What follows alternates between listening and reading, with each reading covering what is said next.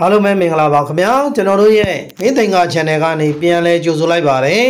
ကျွန်တော်တို့ရဲ့မင်းသင်္ကာ channel ကနေဒီနေ့တင်ဆက်ပေးမယ့်အကြောင်းအရာကတော့ဆရာကြီးစံစာနီဘိုရဲ့ဆယ်ရက်စာထူးခြားပြည့်စင်ဟောစံကြီးကိုတင်ဆက်ပေးမှာပဲဖြစ်ပါတယ်ခင်ဗျာဇာသပတိနေ့မွေးသူအားလုံးမင်္ဂလာပါ2023ခုနှစ်စက်တင်ဘာ22ရက်နေ့ကနေ30ရက်နေ့တော့အတွင်းမှာအလုံးစုံသော ကံတလန်းပေါ်မယ်ဒါပေမဲ့ဥတီလိုက်တိုင်းတိုက်ခံရှိပြီးမှအဆင်ပြေမယ်အလွယ်တကူချောမောစွာဖြစ်ခြင်းမရှိဘူးလူယုံဒုက္ခပေးမယ်ရန်တိုက်ခံတဲ့ထိတိုက်တွေ့မယ်တပားသူကြောင့်မိမိရည်ရွယ်ချက်တွေနှောင့်နှေးမယ်စိတ်ပင်ပန်းလူပင်ပန်းဖြစ်မယ်ပြီးမှအလိုရှိရာပြည့်စုံခြင်းကိုရရှိမယ်ဗီဒီမေးချင်တဲ့အကြောင်းလေးပေါ်လာရင်ဒီစမ်းစာနေဖို့ application ကိုအသုံးပြုပြီးတော့ မင်းများလိုက်ရုံနဲ့ကိုယ်တိုင်ကိုယ်ကြလူတွေ့လာမေးတဲ့အတွေ့အကြုံမျိုးရရှိအောင်စ조사ပေးထားတယ်ဒါကြောင့်စမ်းစာနေဖို့ application ကိုယုံကြည်စွာသုံးချနိုင်ကြောင်းတင်ပြပါတယ်22ရက်နေ့ကတော့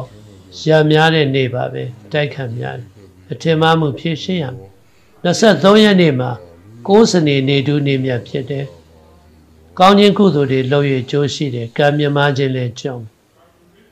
24ရက်နေ့မှာအပြောင်းလဲတက်လန်းပေါ်မယ်လူမျိုးခွဲကြိုးပေးမယ်ကံမြင့်မယ်25ရက်နေ့မှာငွေစုလိုက်ဝင်ခြင်းလက်ပွင့်ခြင်းကြုံမယ်26ရက်နေ့ကရန်တိုက်ခဏနဲ့ရှင်ပြီးလောက်ရမယ်လူယုံထားလို့မရဘူး29ရက်နေ့မှာပြောင်းလဲခြင်းနဲ့တိုးတက်ခြင်းနဲ့ဆက်တိုက်ကြုံမယ်28ရက်နေ့မှာ ရပိုင်ခွင့်နဲ့လက်ဝဲပြန်လဲရရှိမှုနဲ့တိုးတက်မှုကိုကြုံမယ်29ရက်နေ့မင်္ဂလာရှိသောလာပြည့်နေ့ဖြစ်တဲ့သောကြာနေ့နဲ့လာပြည့်နေ့နဲ့တိုက်တဲ့အတွက်အနေကစားကတာတို့ကိုရွတ်ဖတ်ခြင်းနာယူခြင်းအနေကစားတင်ခြင်းပြုပါ30ရက်နေ့မှာအပြိုင်ဆိုင်အားလုံးကိုကြော်ပြီးအလိုပြည့်စုံခြင်းနဲ့တိုးတက်ခြင်းတွေကိုရရှိမယ်။ဇာသပတိနေ့ဗုဒ္ဓနေ့ တနင်္လာနေ့မွေးသူတွေကောင်းကျိုးပေးတယ်။တနင်္ဂနွေနေ့အင်္ဂါနေ့မွေးသူများကြောင့်စိတ်နှောက်ရှက်ဖြစ်မယ်။တင်ငါကိုကနန်ကျိုးပေးတယ်။အဖြူစိမ်မိကိုရောင်တို့ကိုသုံးပြီးတော့အလိုရှိရာကိစ္စများဆောင်ရွက်နိုင်ပါတယ်။လလဘကံကောင်းခြင်းနဲ့အလိုပြည့်စုံခြင်းရဖို့အတွက်26ရက်နေ့စက်တင်ဘာည9နိုင်ချိန်ကစပြီး53မိနစ်တော့အတွင်းမှာအိမ်ဖျားစင်မှာ ပန်းဖြူသုံးပွင့်တင်၍အလိုရှိရာဆူတောင်းမှာ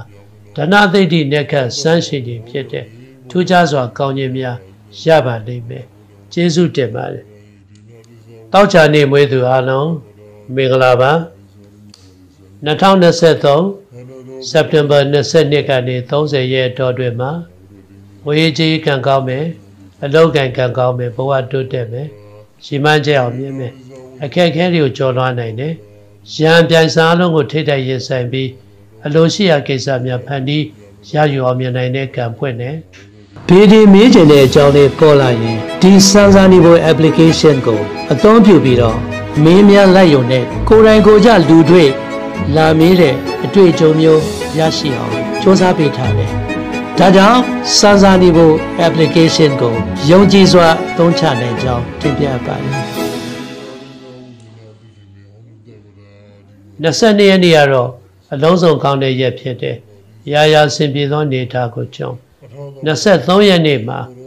ကိုးစနေနေ့ထူးရက်မြတ်ဖြစ်တယ်။ကောင်းခြင်းနမိတ်နဲ့တိုးတက်ခြင်းတွေကိုရနိုင်တဲ့နေ့တစ်ခုဖြစ်တယ်။ဘာသာရေးဆိုင်ရာမြင့်မြတ်တဲ့ကိစ္စများဆောင်ရွက်ပါ24ရက်နေ့မှာတော့ထူးထူးခြားခြားအစဉ်ပြေသောနေတာနဲ့အခွင့်အလမ်းသစ်တွေပေါ်မယ်25ရက်နေ့မှာရန်နဲ့ရှင်ပြီးတော့ရမယ်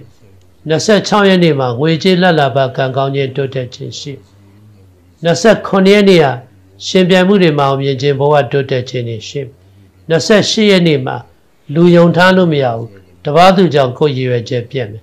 29ရက်နေ့လာပြည့်နေ့နဲ့သောကြာနေ့နဲ့တိုက်ဆိုင်တဲ့ရက်ကောင်းရက်မြတ်ဖြစ်တဲ့အနေကစားကတာတော့ကိုရွတ်ဆိုခြင်းအနေကစားတင်ခြင်းတို့ကိုဆောင်ရွက်ပါ30ရက်နေ့မှာတော့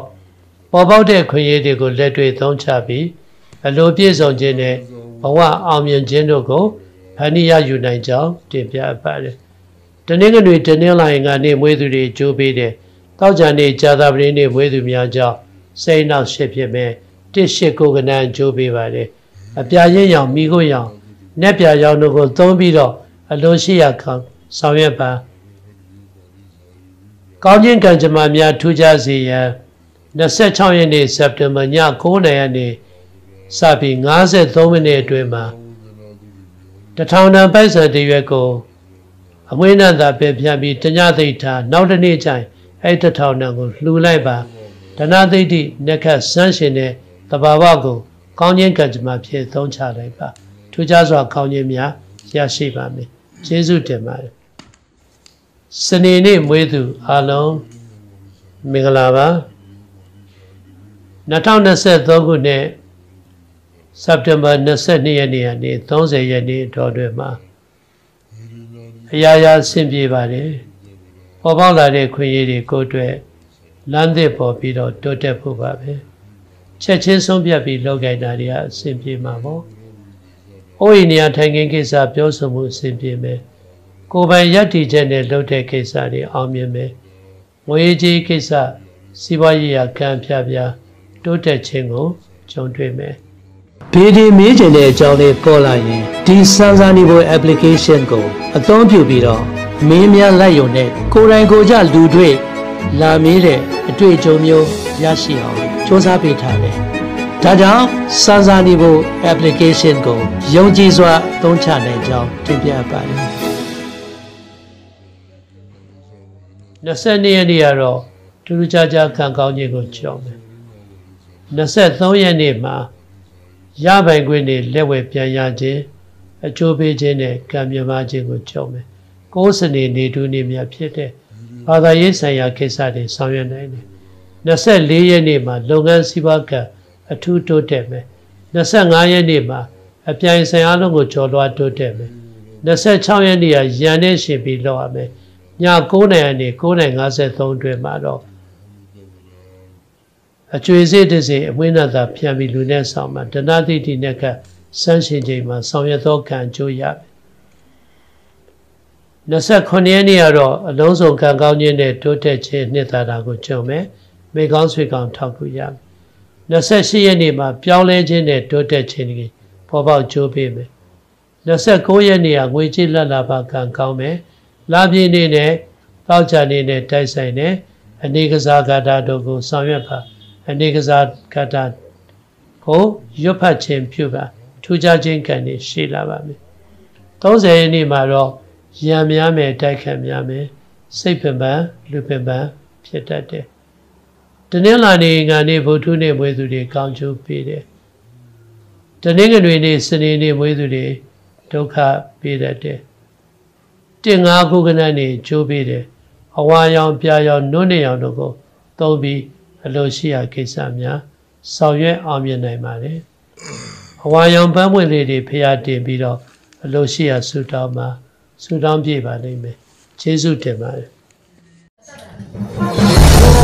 ဗျာဘုရားမြတ်တဲ့ကချင်တဲ့ကနေအဲကျွန်တော်တို့မြတ်တဲ့ကချင်ကျွန်တော်တို့ရဲ့မြတ်တဲ့ကချင်ရဟာဆိုရင်ဒီဟောတဲ့